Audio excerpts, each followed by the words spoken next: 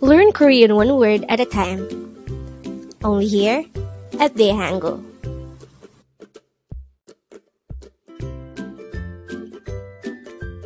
Word number 64. Quenchana. Quenchana. Word or phrase number 64 is quenchana, and this is an informal way of saying it's okay. Meaning, we can use this to address people of the same age as us or the people that are younger than us. The word quenchana could be divided into three syllables. Quen, chan, a. Quen is formed from the combination of the sounds of kiok, we, and nian.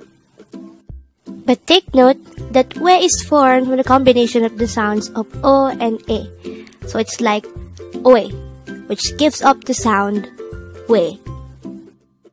The next syllable is chan, and this is formed from the combination of the sounds of chiat, a, nian, and hio.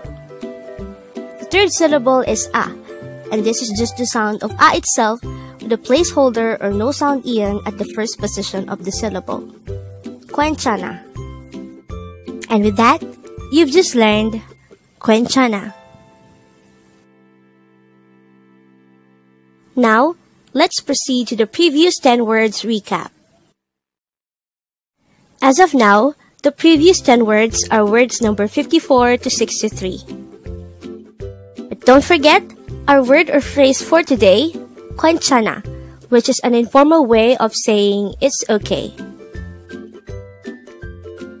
Word number 63 is usda. This is a root verb which means to smile or laugh. Word number 62 is masida. This is another root verb which means to drink. Word number 61 is mokta. This is another root verb which means to eat. Word number 60 is gabshida, and this is a formal way of saying let's go. Word number 59 is kacha, and this is an informal way of saying let's go. Word number 58 is ulda. This is another root verb which means to cry.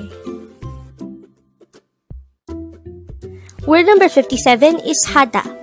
This is another root verb which means to do. Word number 56 is kada. This is another root verb which means to go. Word or phrase number 55 is moyayo. This is an interrogative phrase which means what is it? And the last for our review is word number 54, irum. And this is the Korean noun for a name. Congrats!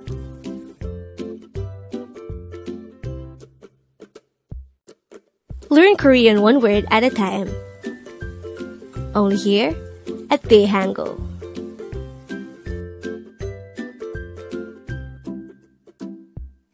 Thank you so much for watching. Don't forget to like this video and subscribe to this channel for more Korean words.